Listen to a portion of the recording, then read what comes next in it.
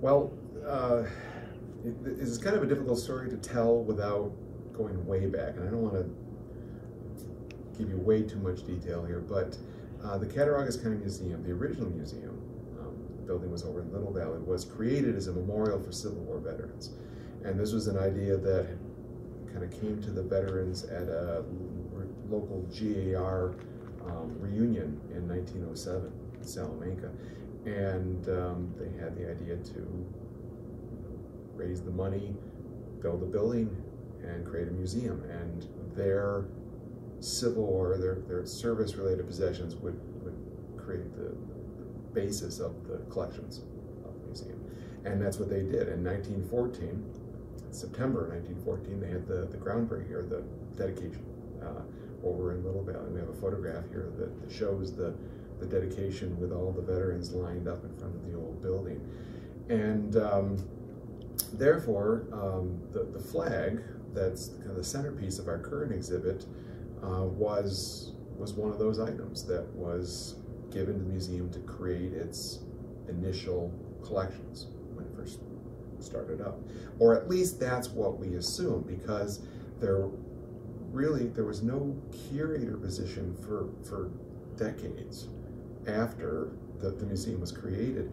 And um, record keeping was really limited to handwritten notes that were attached to uniforms and things like that. Uh, and where these tags don't exist or where they've disappeared over the last 100 and almost 10 years, um, we unfortunately sometimes don't know where these things came from. In the case of the flag, um, we assume that it was one of the original items donated to the museum, 1914. Um, we do know that it, it was on display at the old museum for decades, um, until the late 70s at least. Uh, the only information we really had about it was uh, two cards. There was a typed card that said 37th New York Infantry uh, battle flag captured at Chancellorsville. And then there was a little handwritten tag that was pinned to it um, that had uh, a name, W.S. Hubbell, and uh, an address on Pearl Street. And that was basically it. Now, this flag, as I said, was on display at the Old Museum in Little Valley um, from presumably 1914 until the late 1970s, when uh, the curator at the time, Lorna Spencer, had noticed that uh, the condition of the flag was, was deteriorating. It was not displayed as it is right now, fully uh, laid out. It was actually folded up into about a 24 by 20 inch frame. So this was all folded up with only portion of the flag visible. Uh, what Lorna did, she had noticed that it was kind of sagging down in the frame, and it, it is silk, and it's painted silk. The, um, the, the, design on it is painted on, and um, it was becoming brittle and, and starting to kind of crack and fragment. So she took it out, um, roughly 1980 or so, and she laid it out in the basement of the old museum building on a table, um, hoping to if she laid it flat to, to kind of ease the creases out of it from being folded for so long. And in the meantime, she was contacting some people. I know that she said there was someone in Buffalo that worked with textiles that she was hoping to be able to um, do something to, to preserve the flag. And a couple of years went by, flags on the table, and she just wasn't able to get the funding to really do anything with it. So um, to try to keep it from deteriorating further, she wrapped it in, in archival paper, acid-free paper, and um, put it in a box and, and put it away. And that's pretty much where the flag remained in the, following 30 years. When I came here to the museum, this was about 1907, 2007, and um, I wouldn't been there that long. Um, I came in in 2007, and, and, over the past 15 years or so, um, I had, you know, occasionally gone, you know, through our collections and, and taken a look at the flag, um, but it had become so brittle, so fragile that I really didn't dare do anything with it. And it's one of those things that I kind of would look at um, and keep, you know, thinking about what we could do about it, and then put it back into storage. When COVID hit, um, and the museum was for about three months closed to the public, uh, the historian Sharon Fellows and myself were, were looking for kind of busy work, I guess I should say. I mean, things to do, projects to keep us busy that, um, you know, we were, were furloughed, but we were working from home. And so we were kind of looking for things that we could do. And she had come up with the idea, well, maybe we can find a grant or something and, and do something with the flag. So I started looking into that. Uh, I contacted a textile conservator downstate near uh, New York City, and I think it's New Salem or something like that. And um, while we were working on a, a, grant that we thought we were eligible for, uh, I sent the flag to them because part of the grant process was we needed a treatment plan uh, from a textile conservator. So I sent the flag down to them, and they examined it and came up with this, this treatment plan. Um, part of the, the, uh, the other aspect of the grant application was trying to find out whatever we could about the history, which as I said was difficult because we only had really just these two note cards. Uh, we knew it was the 37th New York, which um, was actually largely a New York City regiment. It was known as the Irish Rifles. Uh, but there were two companies from Cattaraugus County, one from Ellicottville and one from Allegany. And uh, so we knew that. We knew, based on just that note card, that it had been captured at the Battle of Chancellorsville. And, and if you look into the history of the 37th New York, uh, you'll see that the 37th essentially ceases to exist after Chancellorsville.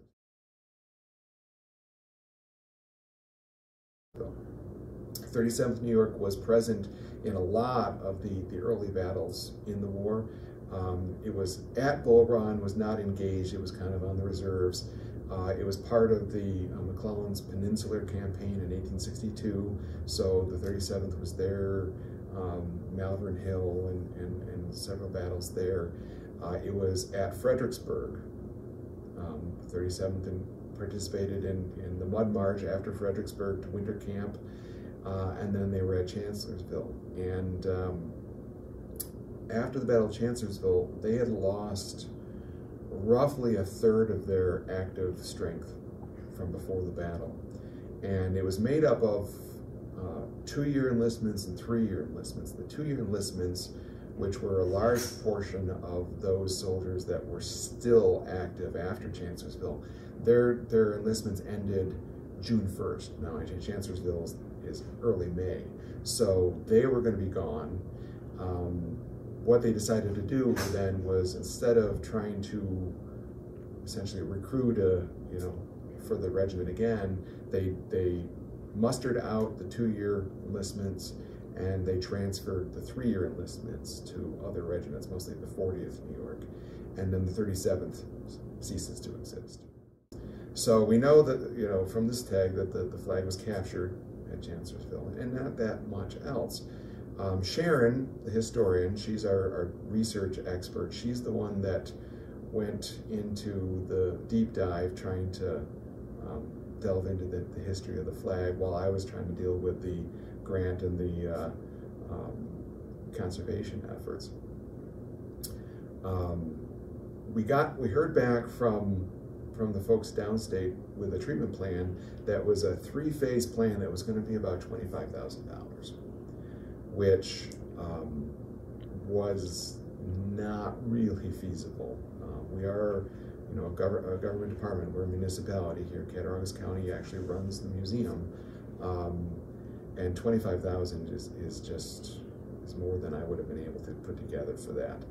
Uh, meanwhile, we discovered that because we're a municipality, we are we're ineligible for the grant. Uh, something that the, the grant, the, the advisor I had been working with, I had explained to her our situation, and she said, "Yeah, you're good." And then we were partway into the application process. She said, "Oh, you know, you're your municipality, oh yeah, you can't apply for this. So we were kind of stuck with, you know, this was going to be a very expensive undertaking combined with the fact that we don't have grant money for it.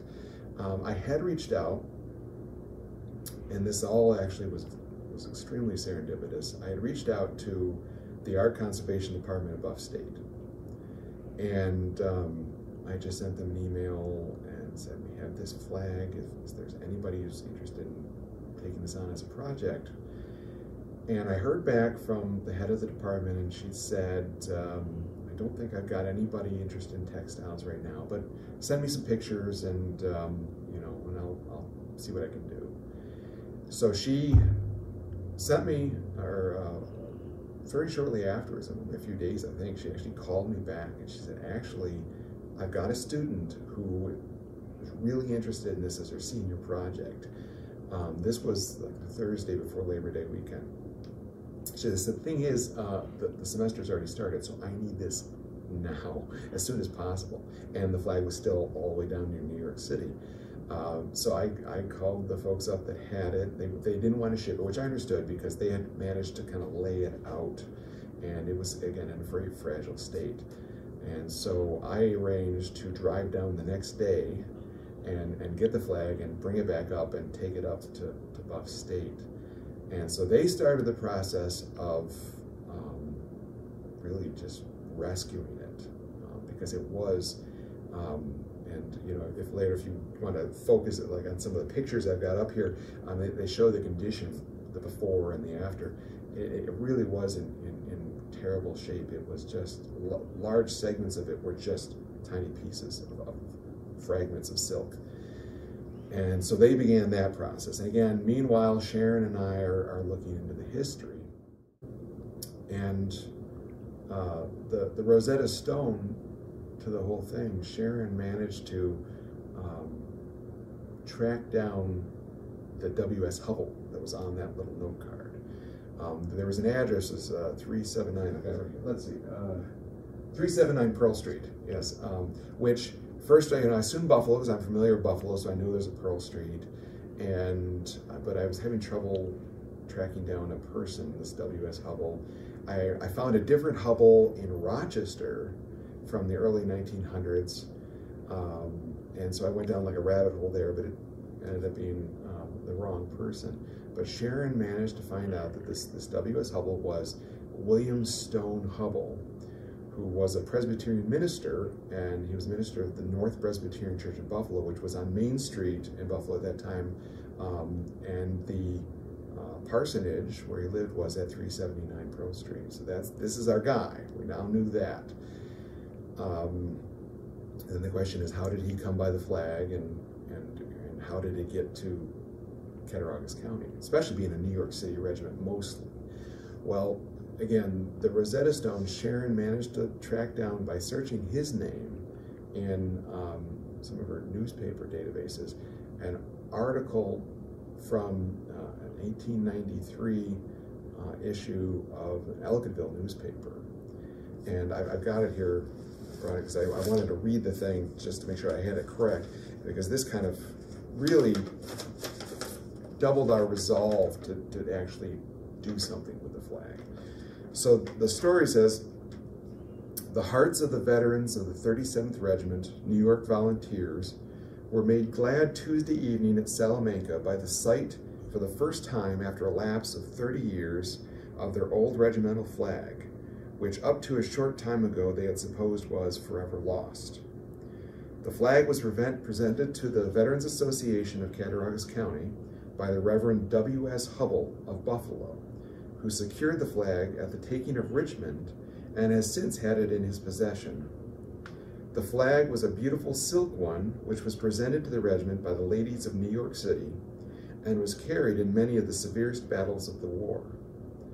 At the Battle of Chancellorsville, the flag was captured by the rebels and was not re recaptured until the fall of Richmond, when it was found by Captain Hubbell in the rebel Senate chamber over the chair of Vice President Alexander H. Stephens.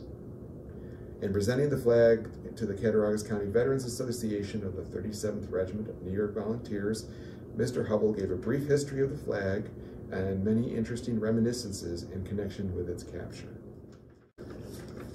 I mean, what a great story. I mean, here's a flag that was at several of the, the biggest battles in the early part of the war, captured Chancellorsville, then hung over the desk of the Confederate uh, vice president, um, which, you know, we, of course, we want to believe that this is all true, and, and you know, being a Presbyterian minister, we hope he wouldn't be making, fabricating any of this.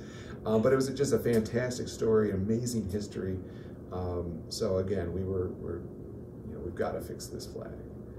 Um, so over the next two and a half years, students at uh, Buff State, the Garman Art Conservation Department, the first being um, a young lady who was a senior at the time, her name is Katja Zinsley, and uh, she um, did the a lot of the groundwork as far as um,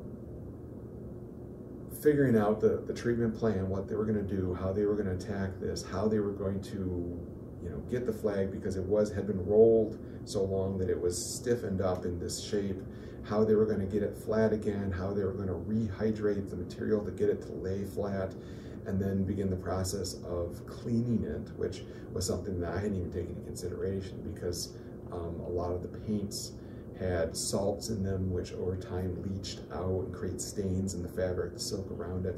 And she was able to, to, to, to very carefully remove a lot of the stains from it and then piece it back together. Um, she got uh, quite a lot done in her senior year, two semesters of work on it, um, but it wasn't completed.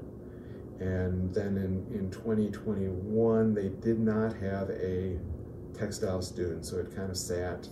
And then this past fall, I was contacted that they had a, a new student who wanted to, to, take up the reins on the project. Her name was uh, Nat Yen, and um, she managed to complete the reconstruction and oversee the, the mounting and framing and everything um, before it was brought back here uh, to be put on display. Um, so we had an opening back in May, May 20th, and Katja actually came from, she's actually working at the Smithsonian right now. Um, so she came back up and spoke and talked about everything that was involved with, with preserving the flag. Um, but it's, it's, I'm just absolutely thrilled. This is something I've been excited about ever since we discovered that saving it was going to be a possibility. And, um, and I might be rambling here a little bit, but uh, I, I had one of my board members who was skeptical about this because again, you know, when you see the, the condition of it before, it really was in rough shape. Um, skeptical about whether or not this was even worthwhile, you know, because you know, can we do anything with this? Well, um, Katja at the end of her senior year did a presentation on her progress, and uh, again, COVID, so it was all virtual Zoom meeting, but she sent me the invitation. And so I watched. Um, meanwhile, I was watching it like on my iPad, and I'm filming it because I didn't know how to download it. I don't know if I could, but so I'm filming it with my phone, watching it on the iPad. Um, but she goes into, she shows the pictures of the flag before and then photos of the different techniques that she used and some of the science behind it and so on. And then towards the end, all of a sudden, she did the reveal of what it looked like now. And I think my jaw dropped open. It was amazing. And so I showed that to my, my board at a board meeting, and uh, I completely changed their minds. They, they were won over completely by this.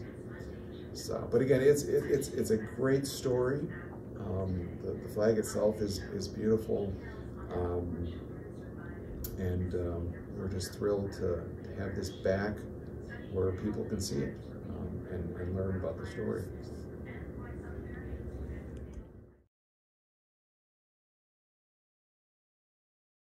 On that field, and and reading some of the accounts, that was where they had their most severe fighting in their history.